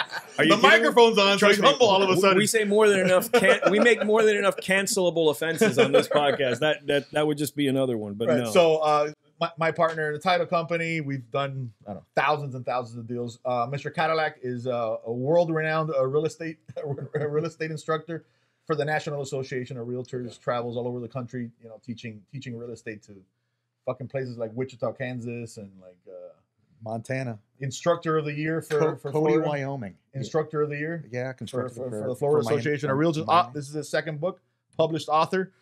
Um, you know me. So so let, let me tell you. So so Gowl, he, That's a hard act to follow, by the way. right? You got an awful the greatest lawyer of all time. so so so Gowl, uh, he tried everything possible. Even he's really good with his calendar, but today he double booked for whatever reason. Right? He was late even to the double booking. Just to not. To be fair, Yeah. because you sent me the invite in Central Time. yeah, I was in Oklahoma when I sent it, so I'll give you that. I'll give you half an hour there, but. But um, so Gowl, um, he he is a unique. So we're we're starting. to- You know, this is like our our our. We're, we've done some interviews, but we're starting to do interviews a little bit more now. So I, you know, I I love to shit on the excuse makers in in this in this world, right? As, as you do too. So I I, I you know I, we we we we align in, in in almost everything, right? As far as that's concerned, right? Um, so you know when they see a lot of people when they see a, a rich person, you know, anybody who would see your house in the fucking keys, basically, right? Would would be like, oh, this guy either you know he inherited the money or or he got lucky. And I, I'm listen, I'm not gonna say that there, there's always luck in business, and there really is. I mean, there's there's but the luck, the harder you work, the the the, Luckier the, the luckier the luckier you get. So, um, you know, Gowl's an extremely. So what I, what I wanna I, what I wanna get out of this interview, right, is is um what you would consider. You know, we've talked about a lot of this stuff already. What you would consider the the the keys to success. You know, how, how do you become a from a fucking roofer, right, to a person worth well over? I could, I could say these numbers a little bit. I, I'm curious what number you're going to say. Yeah, yeah. We called you the greatest lawyer in Yeah, the yeah, world. yeah, yeah, so- yeah, We're o- over a Yeah. hundred. Yeah, yeah, yeah, yeah, yeah. over over a over a hundred mil. Let's get it. Let's call it. It's it's you know Any uh, story Jesus tells, the walk gets a mile longer, the Yeah. snow gets a foot Yeah. deeper. All right, he's, with he's every definitely version. definitely well over 100 million. All right, so um, how do you how do you get from now? Is, is did you start out Mexican or you were always white when you started roofing? Yeah, right. I, mean, I started in masonry, so yeah, yeah, I Alright. think Mexican. so how, tell me a little bit about how how you you started. You know, just a, a regular you know worker, a roofer. Yeah, so well, um, kind of going back even before my professional career, I, I think kind Is the microphone close enough to him or no? One of the things that uh, I, I can remember, you know, even in college, which I only went for two years, but I can remember like waking up in the middle of the night, and I had a uh, recorder beside my bed that I would just, you know, and, and I'd be worried about, you know, you know, what am I going to do next? What's so I've always been this had this like insatiable appetite to kind of advance, right? Um, e- even today, I, Were you a good student? um, I was, so I was smart. I got good grades, but I, it's it's like the adage, right? The A and B students will always work for C and D students. I wasn't a C and D student, but I did as minimal as I possibly could to get by, right? an adequate grade. Um, and, and to the point, that's actually why I left school. I, I remember I was sitting in a like a 200 level English class, um, listening to the guy, um, you know, um, the professor, and I'm like, this is a waste of my fucking time. I cannot sit here for four years. Like I have to go make money, and there's other Right. shit I can do. There's shit happening right now that I need to be a part of. Right. Um, so I, I think that's one thing for me, right? And and it's not a requirement to be successful, but I just had this like whatever the opposite of complacency is my entire life. Um, um, so I think that's one thing. And then I, I tell people all the time, eh, for me, and, and I think for most, you know, a lot of kids, particularly today, spend like the the twenty to thirty year time frame, you know, hanging out, partying, doing whatever. I didn't. I did that like from like fourteen to eighteen. Um, and I was just to the grind all the time at, um, you know, at 20 years old or whatever, right? Um, and then obviously today, like everybody wants it now, kind of instant gratification. That's just not the way it works, right? Yeah. There's a, um, you, you know, I, I think you can. Well, this is where I think I got lucky.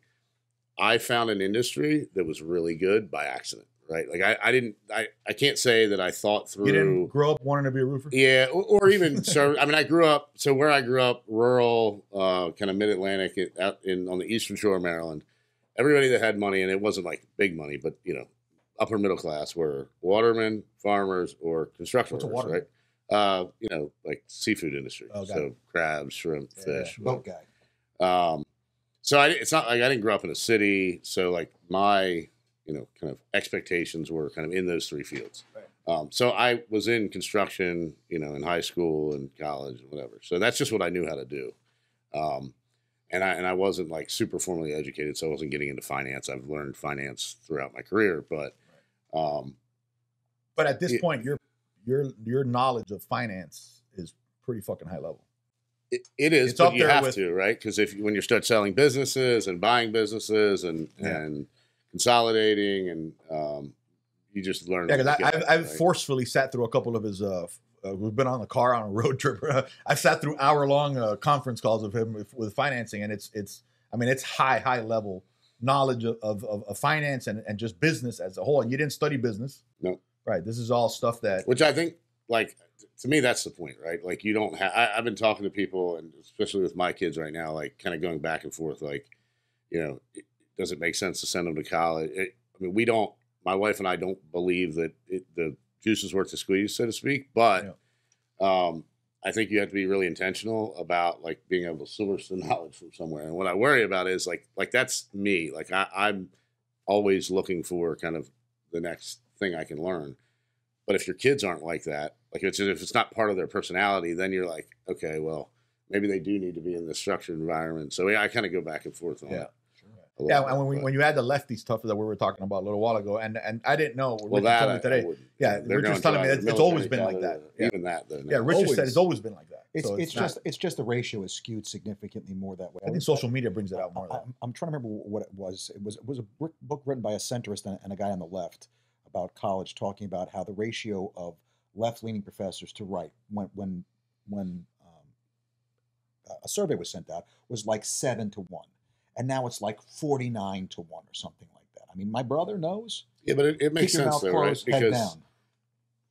Well, we're trying to figure professors are why. just people that have never done anything, right? And they tell you how to do stuff, right? So it's just like a government bureaucrat, right? That They've never actually, so so they, you know, somebody with that personality has a It's like tendency that back to to school, be. the back No, to school movie. Right. All the professors are like, "Fuck these guys. They're, we're signing off." I mean, it, it, it, it's kind of it's kind of like it's kind of like my general contractor's license. When I go for for C for my general contractor's license, the classroom is a sausage fest. It's all dudes. Now, nothing precludes a woman from getting a general, but there is a tendency that that particular type of occupation tends to bring in a certain demographic. I think it's the same thing with with uh, college professors. That it's just that type of um, structure appeals to people that have certain political leanings. I think those two things actually Mhm. cobble together.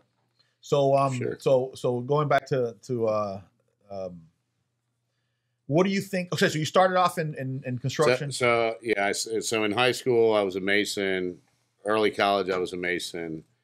I, um, you know, I go to college. Um, I, I get fed up with this professor, and I'm like, I can't sit here and do this. There, there was a couple little legal issues in there at the same time. Um, and I had a buddy that worked for. Uh, I- I don't think down here you guys have Ryan Homes, but they're like a yeah, yeah we top got 10 builder we got up, up north a little bit like central So- florida he he was a superintendent for Ryan Homes, and um, they were struggling with uh, finish carpenters. And I had never done it before, but I'm like, fuck it, I can figure this out, right? It's it's hanging trim on a okay but let's not overlook that that right there i think is if there was a gene Hey, for self-employed that- people if it, and, and and i'm sure if it's studied it is it's the The figure it out. figure I'll, okay i'll do it and i'll figure it out later Yeah. these professor types are like let me figure it out first and then i'll do it you know what happens they never fucking do it Yeah. so that that if I- there's a gene Look, I, I have employees all the time that I'm like, you are. I mean, if you just had a little bit of confidence and we're like, fuck it, I'll figure it out. right Sky's the limit. They just, it's just not. In it's their- not in their dna i mean Yeah. it's just not Yeah. So It's funny. I, I just on that exact point, I, I saw a guy.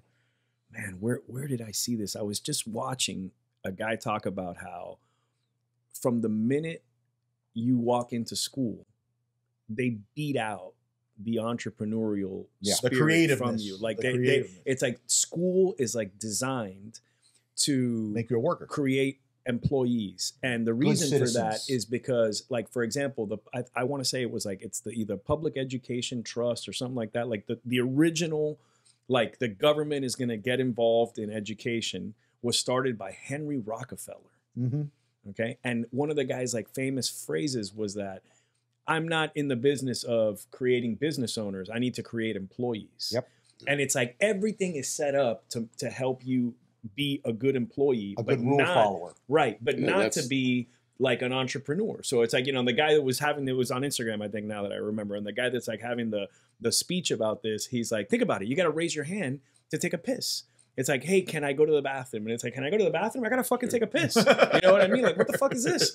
And um, I mean, obviously, you need some structure, but but it's funny you say that because people they just it's in them that they can't they just can't do it. They they don't think that way.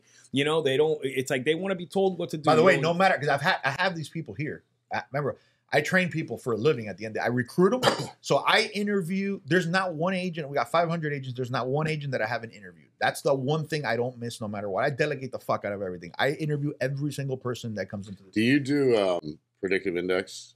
No, it, might I be too tried. hard to do with. I did. I did try it, and it never worked. And my predictive in, at this point, it's in my. I, I could tell you pretty much. I mean, I'm wrong every once in a while, but I could tell you who has it and who doesn't. You know, and who who has the mentality and it, and it. And I'm telling you, the IT guys. I, so I, I at one of my companies we just started doing it really heavily. All all high, not field guys, but but all middle management up. And um, at first, and I hadn't had a ton of exposure because I didn't come from corporate America. At first, I was like, "This is bullshit. You can answer your own question, like you know." uh, but I will tell you, it is, at least in my experience so far, it, it's a game changer in terms of Yeah.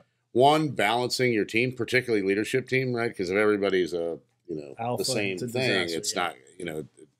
Um, but two, it it, it helped, and I'm not like I don't not hire somebody because they're in a certain category necessarily, But you should know who they are. You categorize. it, it helps you them. watch out and help you know helps you work on their career development. What do I need to what do I need to help him with or her with or whatever. So I, think it's pretty interesting actually. Put them, Yeah. in, the, put 'em in the right place. yeah, put them in the right place and pair them with the you know what, whatever their Set the career development and everything. because them they're they're telling you. I mean, through that predictive index, they're telling you what they are good at or aren't good at. right. Yeah. So, um, and what environment they need to be in and that kind of thing. So it's, um, I, I'm, you know, early days, but pretty big believer in it. Yeah, yeah. Um, no, I've I've I've, tr- I've tried it.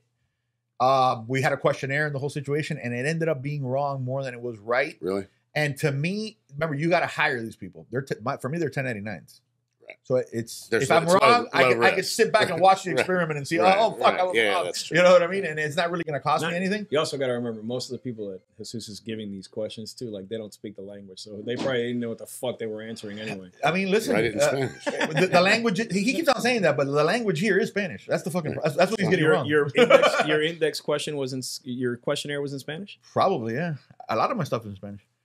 Um. All His right. meetings so, are. I know because Yeah. I never know what the my- hell's all going my on. meetings, dude. You know that. How many classes have you given here in English? No, no, I know it's right. horrible. Exactly. It's fucking So, horrible. um, before this, I don't want to. I don't want to get. I don't want to get in it with this guy. He's triggering me to try to get Dragging it. so I am more mature Oh, now, and I yeah. see it coming. So I'm going to go ahead and ignore it and continue with the I'm interview. just used the word trigger. I was about to say It's about I, was- I was- I was about to say I'm disturbed by your use of the word triggering, bro. Hey, I feel a little thirsty Hey, are at you- this point. Yeah. are you turning? No, I'm not. All right. So Ryan Homes. So yeah, so then I, s- I start Hey, tell me to turn the fucking AC um, on, please.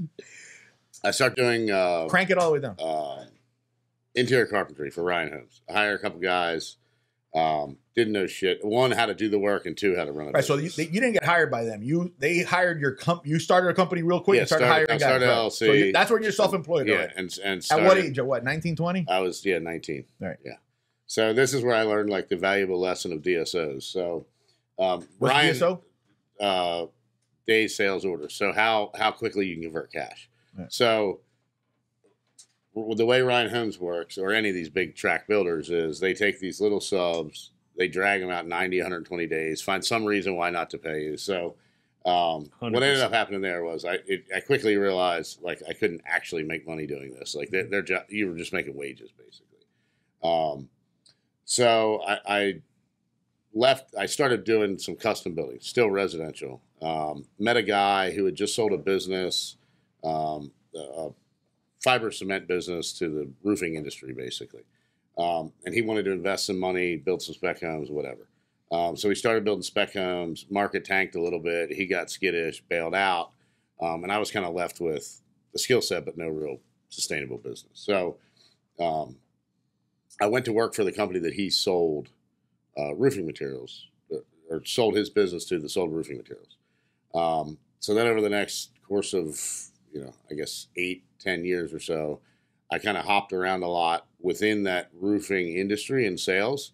Um, I was single at the time, so most of the companies, what they would do with me is they would, I could move around, so they would send me into a region that was had a screwed up sales channel. I would fix it, and move on to the next. So I spent time in New York, um, Atlanta, Right, Tampa. You're, you're technically starting from the ground.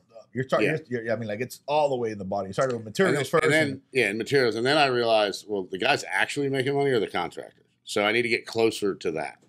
Um, so I went from the manufacturer down to distributors to reps, you know, kind of held all these different positions, all while kind of learning the entire industry. And I think I, t- I tell the story nonstop to acquisitions or whatever. But the, unique thing about my experience was, and this is true of any fragmented business, is a guy told me one time, all these guys are doing it differently, and all of them are going to win, right? So that's roofing, that's HVAC, that's anything, right? So, you know, there's roofers that do big box, Walmart. There's guys that do government. There's guys that do, you know, residential, whatever, right? yeah. And they're all going to win. They're all going to make money. Well, but coming from the kind of the manufacturer side, I got to see how they all did things, and then ultimately decide, you know, start to imprint how I would run a roofing company if I ever owned one. Um, so anyway, I, I met my wife in Florida. We moved back to Maryland. I didn't know you met her in Florida. in Tampa. Yeah. Oh. Um, moved back to Maryland. Um, I started a rep firm selling materials. Um, ultimately, one of my customers had kind of his right hand leave. They were a small, you know, four million ish in revenue, um, multifamily re-roof contractor. Um, had his right hand leave, couldn't find a replacement. Asked me to buy the business. I bought the business, sold my rep business, bought that business, scaled it, and then ultimately sold it to private equity, um, which I'm actually still involved with. But- Right. One one thing. So one thing that you know, I'm assuming there's going to be entrepreneurs listening to this, right? So wh- one thing that we talked about the other day that I found very interesting, right? Um, because you you you you're you've been on both sides of it. You you you prepped your company to be sold, Yep. right? Like it, you, you had to like make changes to it and the way you ran it and the way you structured it in order. It, you don't you run. One thing you you you mentioned was you run. There's two ways to run a company: just to run it, right, to make money, and then to prepare it to be sold, right? Correct. talk a little bit about that like you know what, what's Yeah. the difference between just you know running a mom mom and pop shop to preparing a company to be sold to be able to be um, attractive enough for these Yeah, so private equity say guys that's a kind of a two part question, right? There, there's things you have to do, like so if you're selling a house, you got to stage the house, you got to paint, you know, that, that stuff has to happen no matter what you do. But to maximize value, particularly in an institutional capital world, right? So if you're trying to sell to a financial buyer, right? So whether that be you know, you know, a sponsor, private equity, whatever it is, um, you know, those guys aren't operators. All they want to do is either infuse cash, so capital, or uh, human capital, right? People, and scale the business. So the, the key in maximizing value is creating a scalable business um, that is, you know, has it's not overly complicated, right? You, you do one thing, you do it well, you can throw cash at it. And Right, so i got five offices now and this is how i got to five and this is how we'll get to six seven eight nine ten Yeah, and you got to be able to tell the story, and and you have to. They have to believe that if they just throw cash at it, it will flourish. Right. Um, so what I see, because I, I do a lot. That's primarily what I do now is mergers and acquisitions. right because once you sold now you're looking at because you, you didn't sell all of it you sold a portion of it now you're looking to buy so yeah, you're we're still you're, building the platform. you're out there right? hitting yeah you're out there hitting people up and looking at companies and and figuring out if you're going to buy them or not right Yep. you're and, diving and deep into in it. that business and and, a, and and some others too. But Yeah. um, what I see people do, and this look, I get it, right? Um, if you're a um, if you're running a business with no intention of selling it in a local market, you're just kind of thinking of how can I make more money? What do I like to do? That type of thing. So as an example, you know, I looked at a company in Southwest Florida that had, you know, they were primarily a roofer, but they had a crane business and an HVAC business and a little bit of residential business and which if you're just running, you know, It's in great. your own little Right. market, you're trying to do as much. right That's fine. The the problem is your message is diluted and it's not scalable. So you're diminishing your value from a from a financial sponsor, um, you know, because they don't, you know, they don't want to do ten things. They want to do one thing and throw money at it and make Right. it blow up. So I think I think if you're if you're trying to set your company up to maximize value, that's one thing. Um, the other thing that you just have to do generally is, eh, which which most kind of small business and entrepreneurs don't do, is you know financial management, financial literacy, and clean books and month end hard closes within ten days, and you know so there's some key positions that companies don't have that they all need to have. Right, you need to have a, a CFO or at least a really strong controller. Um, and the other thing that happens a lot of times in small business, which was true of mine, was the business was dependent on me. Um, so it's like super kind of owner operator centric, which uh, you know my opinion always was until I went to sell was well, that's the way to maximize profits, right? Which is true, right? If, if I have my hands on everything, I can maximize profits. Which is true. Correct. Um, and I didn't care about work life balance. I, I think that's the biggest bullshit fucking term I've ever heard of. right? But um, if you want work life balance, go work for somebody. Um, so that wasn't an issue for me. But um, uh, so I never really was. But to dive into that a little, because because you know, um, th- there's there's one way that people put it. Look, if if you're in your if you're if you have to be in your business every single day, you have a job, right? If if you if you set up your business so that if you could you could leave and it runs without you, you have a business, right? I agree. And the that's other thing basically- is too, that's you, you can't what it comes down to. advance if you're not. You can't work. You can't work in the business. You have to work on the on the business. business. Yeah. Um, however, the same thing though. If you're the if there's nobody near your level of you know kind of Competency. competency in your organization, you are not going to maximize your value because you know that's risky, right? It's just risky, right? What if you die? The business fucking Yep. dies. Um, so that that's typically what you see in these lower middle market businesses. It was true of mine. Um, it's not today, um, but it, it's just one of those things that people just don't get to. So um, Now, No, and, you- and by the way, you live out of the business in all the wrong ways. Like you know, like it's like you said, it's clean books. Like it's like, listen, you know, law firm, fr- unfortunately, small small practice like I used to maintain is not something you can sell, mm-hmm. because the reality of the matter is that I'm the business. Yeah. Right. So you know, and so what happens is it's like when when you're looking when someone's looking to buy the business, right, and they're looking at the the financials, you know, there's all these things that that buyers consider an add back, Mhm. right? So, oh, right now Richard pays his car out of the business, but when we buy the business and Richard's not here, then like Richard's car is not here. So if we're spending a hundred grand a year on Richard's car, you can add that back to the bottom line. Okay, but the problem is like you have to replace the Richard. Right. So like, what do you replace it with, and and does it cost more? Or does it cost less? So it's like it's kind of like what you're saying, you know, that the, the business has to be able to operate independent of like any one set of of either one person or one set of persons. You have to be able to like have interchangeable parts. Yeah. You You know? know, it's, it's, it's actually one of the key ideas my father left me with because my father ran a very big industrial operation in New York City for you know, 40, 50 years. He said the last skill, the hardest one to learn, is the ability to duplicate yourself. The ability to take and make yourself irrelevant so that you can go on to the next thing or work on other things while everything is st- all the plates are still spinning. Yeah, and I, I think that so so here's my my thought or experience on that. I I I think that's a utopian concept, right? Because you can't and then this is where people get hung up. I certainly got hung up here. You can't replace yourself, right? I mean you, you can you can replace yourself at you know 80, 70%, right? Right. But you can't replace yourself. Um it- typically in a business. Wh- Where I got hung up and most people get hung up is that once you scale, if you're replacing yourself at 80% and you're scaling, like, yeah, you're going to lose some efficiency. You're going to lose some, you know, maybe some margin slip or whatever it is. But if you can do 10 times more, Make it up that's what I couldn't get Yeah. comfortable with when I was a small business. And that's where most people get hung up, right? Well, I'm not going to give up. If I can make, you know, 10 more points, but I can only do, you know, $10 million of the revenue, then Well, I, I think, and, and it's one I, I see it a lot in the training that I do. agents they get locked into perfectionism, like Yeah. it's got to be perfect. Yeah. And I say I, let always said enough get in the way. perfectionism great is a the way of good trap. Yep. It is a trap, and it's actually a self-limiting belief that gives you an excuse for doing less than you're capable of. It's like, oh, I can't send it out unless it's perfect. That Yeah. excuses your lack of volume, right? Yeah. And so for me, excellence is what's pursued.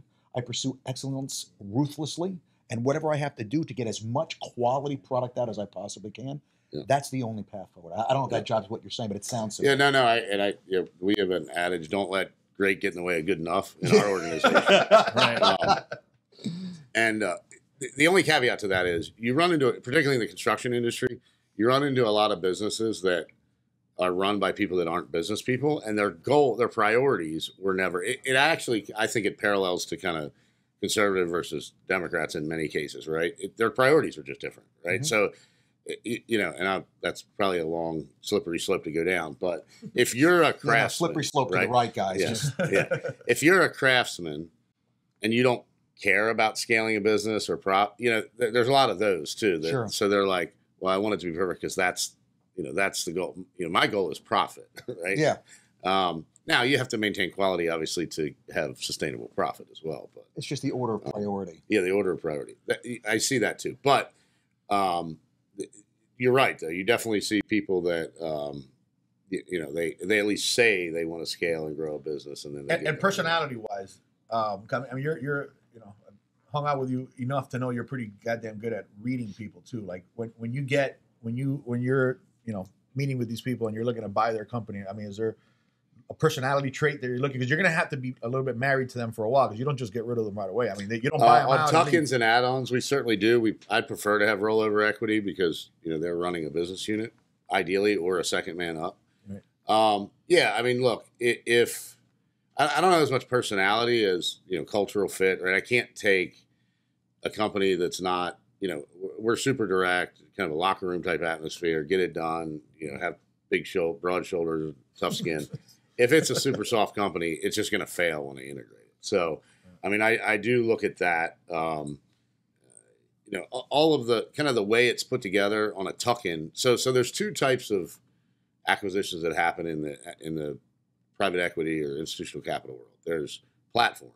So that's you know a bigger company that somebody can get behind growing, and then there's just tuck-ins. A tuck-in or an add-on you don't care that that much about how well put together they are because you have the platform you're going to bolt it to.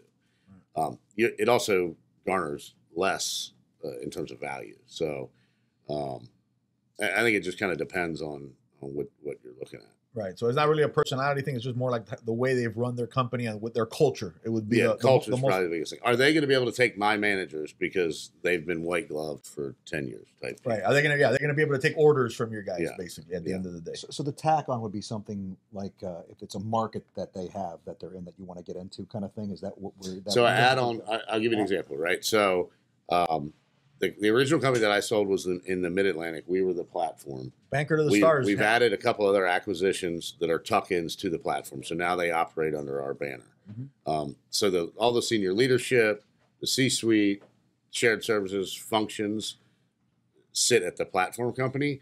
The tuck-ins are usually smaller, less sophisticated. Don't have you know they're on QuickBooks. They're you know that type of thing. So that that's kind of the difference. And you bring them in. You bring them in what? Just to expand into other markets. That, that's kind of my question. What would be the reason? Yeah. So the, the whole name of the game in in you know institutional capital is um, is obviously growing equity value, but it's kind of the playbook is double EBITDA in a certain period of time, um, and then get a couple additional turns of of multiple. So the way you do that is either is really to have predictable revenue. So that can be through. Ge- So in, in my case, to answer your question more directly, geographic diversification is a big you know is a pillar of our strategy. Sure. So I'm I'm not buying companies in the markets I'm in. I'm buying them in other markets. Um, and then the other piece is kind of diversifying revenue a little bit. That way you're you're minimizing risk. So we, we're buying some companies that do some other adjacent but slightly different things than we do Hmm. in other markets. Um, Let, and let me ask you this because should- I'm sorry to interrupt, but, Go but it's, I've been dealing with a with a new group of um, clientele, let's call it, that is high net worth individuals. Okay, that they think that what they want to do is acquire companies. Okay, but what I what I find is the problem is that it's like number one, they we you know we all suffer from the when you're buying everything is worthless and when you're selling everything is worth a zillion mentality okay and then there's a, an incredible level of impatience are they operators? no So why don't they just invest in a fund? Uh, well and because they're control freaks and so when you put money in a fund you're nobody okay you're one of many Well, but there's plenty know, of small funds. They Yeah. get the GP, whatever. I, so so I guess my well my, my well my question is is when you acquire a business that like you say I just want to put I want to put money behind it so that the business can grow. What is your like timeline on the return? What is like an acceptable return? You're going to buy something for 10 million bucks. How long are you do you and is it okay to wait for the 10 million to come back before now you're making money on that? yeah, it's all. There's no cash flow in any of this, right? Right. So right. and and for me, and this is all personal preference, right? For me, the business that I sold that I still own forty eight percent of, um, it's a traditional private equity fund. So they're, you know, they've they've taken capital from institutional, you know, pension funds, whatever, right? And their horizon is about ten years from the from the raise of the capital to exit. um, we will exit probably in four years, um, three to four years. Um, so it just depends how quickly you can get, but the runway is generally ten. I have another one that I that I'm doing privately that in in pool construction business that because I'm doing two things at once and and it's it's my capital. I don't have to return it to anybody. Um, I'm taking that one a little slower just because you know. But you're management. but, but it actually went faster anyway. Well, it it, Right. it, it, it was a shit Yeah. show when I bought it, and Right. I it, they the people I put in place fixed it in a year, but we haven't really done. It. You any were okay waiting ten years, but it came back a lot faster than. Yeah. Well, but and not just that, but the other thing I'm hearing too is that like when you deploy the capital, it's actually not just sat in this this company's bank account, but the, it's used to make improvements and right. bring in the correct people, and and so you're spending the money initially. I'm just validating Hiring the the things right that I people. that I complain to my superiors about because it's like, oh, uh, we're gonna buy this for They just wanted to annuity. we're gonna buy it for 50 bucks and then we got to put in another 50 bucks to make it work and i'm like yeah that's typically the what you know because it's not working like what the fuck do you so want to buy not disney using world any. Um, You so know? typically, what people do is they they buy a company with equity and they finance growth with debt. So Mhm.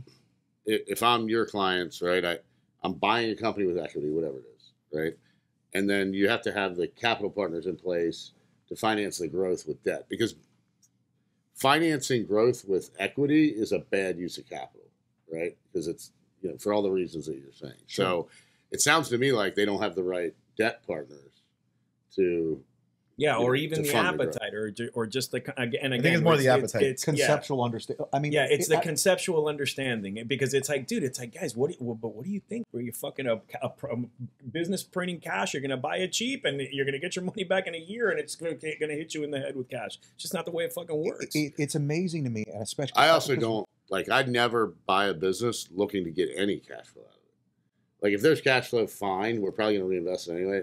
My whole deal is on the exit. And I, I don't Right. anticipate anything. Right. the way. That's that's the Building for the exit. it it amazes me how how poorly understood debt really is. The idea that you can get somebody to agree to a, a payment, and regardless of the upside, I get to participate in 100% of the upside, side, and their payment stays the same. Yeah. I mean, what we've seen in real estate. I mean, in real estate, people on their homes they put three and a half percent down, but they're experiencing appreciation on 100% of the purchase price of the asset. Yeah. With only three and a half percent of the capital.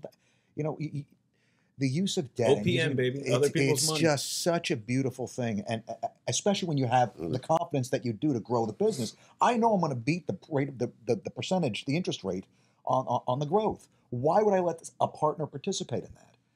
Why wouldn't I use debt? And no, I'm, I'm with you, man. That's awesome. Yeah, but it, right, and but I mean that's a whole skill in industry too. Is is having the right, you know, debt partner. Yeah. and, Yeah. you know, the right structure, knowing what market is. Right now is getting crazy with that. So So Um, before before selling your co- okay, so 'cause I again being with you as much as I am and, and and hearing your conversations, I mean you guys are fucking as corporate as corporate gets. I mean you guys are. I don't. There's Well- a lot more corporate. I mean you're pretty fucking corporate. So so my question is right. Um, did you corporate yourself before you sold, or selling has made you Both. Uh, I did what I could stomach to do. right Before we sold? Um, and because look, some of it's real, like some of it's positions that help you grow. Some of it's Just they're used to insurance, it. basically. Right. Um, also, you know, again, like like I said about the kind of entrepreneur, middle market guy getting in his own way. Like, so I just hired um, a COO that's taking over as CEO, and I'm stepping back to an exec chair role beginning of the year. And um, I we hired this guy, um, and it was kind of my idea. I wanted to do this anyway, but I am every day I'm impressed with how fucking awesome this dude is. Like how good he is, how much better than me he is. That's Um, awesome. Now there's stuff, there's industry stuff that he doesn't know, whatever. But um, you know, in terms of kind of corporate, you know, there's really talented people out there that Right. you will accelerate your business, and knowing, being open to finding them, knowing how to find them, find them, and paying them. Yeah. I mean, is is Yeah. paramount. Yeah. So you you you did I did Yeah. a little bit, but not a ton. Like so, I did. We always had really strong financial control and management. Um, we had a you know a little bit of a disjointed tech stack. We completely upgraded that post close. I never had an HR person. they brought that, or you had an idea of what you wanted to bring because you're you're because it We Okay. did it. They didn't bring anything, but we collectively like in order to create multiple expansion to be able to bot As an example, right? Say you own a company in town A and I'm in town B. Right. Your That's a big part. Your system has to tie integration, your technology integration is a big part. It, it is because it's that's the scalable part, right? and that's you that- continue to just bolt That everybody's stuff on. connected and everybody's communicating Yeah. and everybody's speaking on the same Yeah. channel, right? So that's stuff that you didn't and it drives before. efficiency and because there's no, you know at ten million dollars there's things you can do the ways you can run a business you can't run a hundred million dollar business the same way so you need technology Yeah. um, so you know that all came you know after the acquisition um, I knew it I just we weren't there um, I, so I would say I guess to maybe circle back on that most of the stuff most of the stuff you see today riding in the car with me is post acquisition Right. Oh, like all the, right. right. including largely most of my understanding of finance. Right. Not accounting. Like Right. you got you, you always got to know accounting if you're running a business, but the finance side. Um, last thing. Uh, well, you you got to you got you, you're not going to be for, for the JC one. I would love to be. It, Okay. it just depends on when we All do right. it. Um, what's the coolest? Okay, so two two more questions to wrap it up. Um, what is?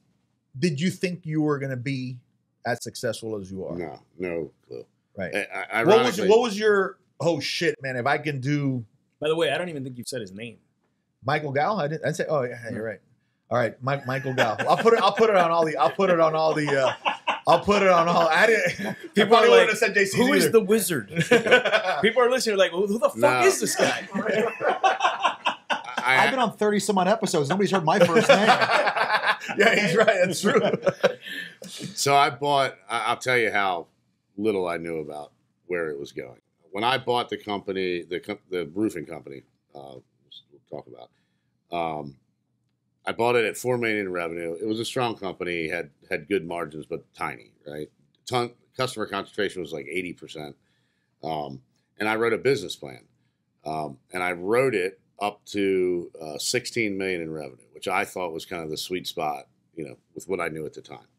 Um, eh, you know, and, and kind of verbatim, we achieved everything we wanted to along the way. But I went from we went from four million just in terms of revenue, from four million to forty-five million in seven years, and then you know we'll be 150 million this year. So no, I had no idea, and I never. The reason I sold had nothing to do with me wanting to monetize the business. I wanted to go on an acquisition mode and and and You like that part of it. Well, I just the the we were working in geography and my guys were killing it. And they were you know twenty percent year over year. right but it organic seems like almost like you you're dude you know like you're you're yeah the roofing was the vehicle to get for you to get to what you really like and what you really enjoy which is buying fucking companies and restructuring is that fair to say Um, so, so I like it. I, like operating businesses too, though. I, I love like so like this new venture, the the pool company. Like I like lower middle market because it's just it's so easy, right? There's low hanging fruit. Like little companies do shit wrong. They do shit wrong, and it's so easy to fix it. So I, I like operating companies, but to build like significant wealth, you know, and Yeah. you're just playing with more chips when you start Right. buying companies and scale. I mean the the arbitrage that you get when you when you buy companies is I mean Yeah. that's you know and the day after you close you just made thirty million dollars. Yeah, just because of the arbitrage yeah so uh, la- la- last last question what you know because look you know it, it, all sounds pretty right now and and look i get it with my agents all the time like they're like oh you know they'll throw like oh you're leaving at three o'clock? Like motherfucker you weren't here when i was waking up fucking five o'clock in the morning working 14 hours the whole situation you know? So it's kind of like you know it, it, it's it's real cool to look at it now and, and and see your lifestyle now and the whole situation but there's a lot of fucking hard work and a lot of sacrifice to get it right? So what's that that one moment that you're like fuck man it was really all fucking worth it. I mean you know like what's that one cool moment? I think i think i know what it is but you know like what's that one you know like holy shit You know, so I actually have never had one. It's funny. So when we and, and look, when I sold, we were making you know 10 15 million dollars in profit a year. So it's not like I didn't have money Yeah. going up to selling.